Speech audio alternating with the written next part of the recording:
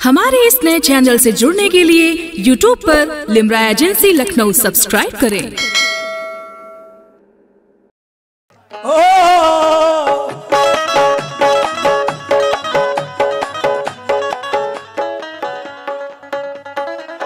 अच्छा ये हँसी की बात थी, मगर एक शेर की बदौलत मदीने बुलवाए गए। दूसरी बार उन्होंने फिर पढ़ा उसी जगह पर तो उनको जो है करबला शरीफ का टिकट दिया गया। कसम खुदा की तरह सुनना, शेर कौन सा था? एक पल्लू में समा जाएँगे सम्माहो नुजूम। एक शेर सिर्फ़ पढ़ा था यही, एक पल्लू में समा जाएँगे सम्माहो नुजूम। चादर फातिमा जहरा को समझता क्या है? ये शेर की बदौलत करबला बुलवाए गए और उससे कबल यानी पहले मदीने। अब जरा शेर सुनिएगा। जैनब। जैनब भी गई थी अजीत के दरबार में। न तीर लेके गई, न भाला लेके गई, न तलवार लेके गई। मगर यजीद की नस्ल काट दी किस चीज़ से? आखिरी शेर सुनना। हाँ आखिरी शेर सुनना। हमजा हमजा, जहाँ गई हो शेर सुने, प्रधान जी सुनना। किस चीज़ से काट दिया? हज़रत जैनब ने।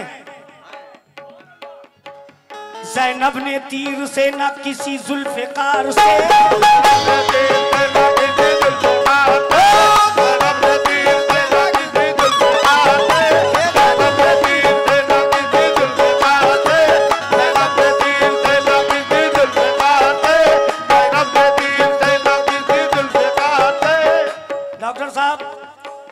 जैनब ने तीर से ना किसी जुल्फिकार कहते तलवार को। जैनब ने तीर से ना किसी जुल्फिकार से नस्ले यजीद काट दी चादर की धार से। मौला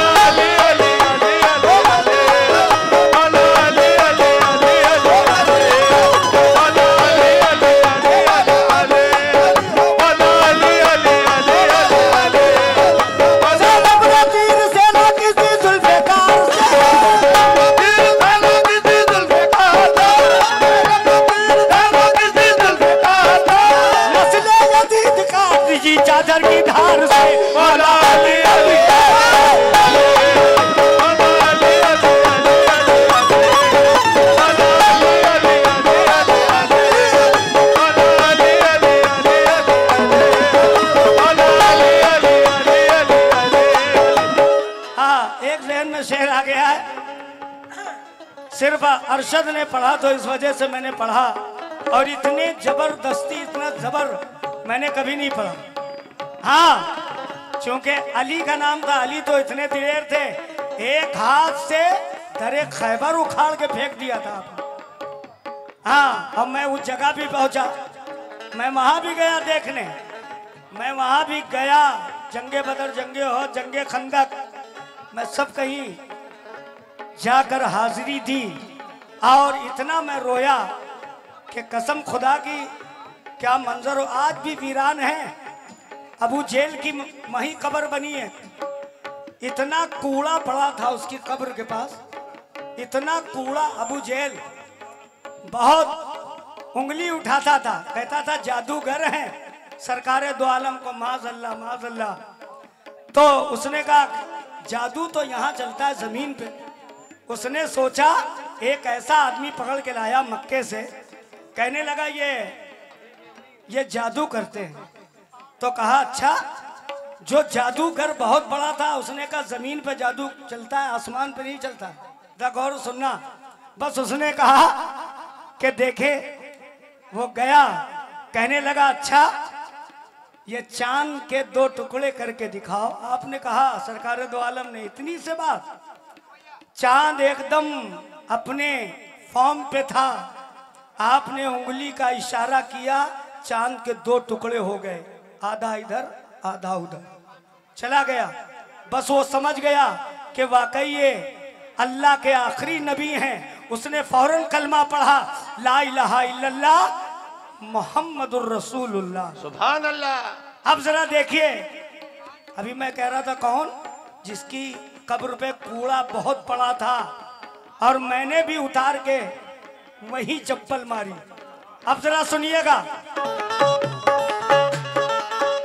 सुनकर अली का नाम जो चेहरे बिगड़ गए।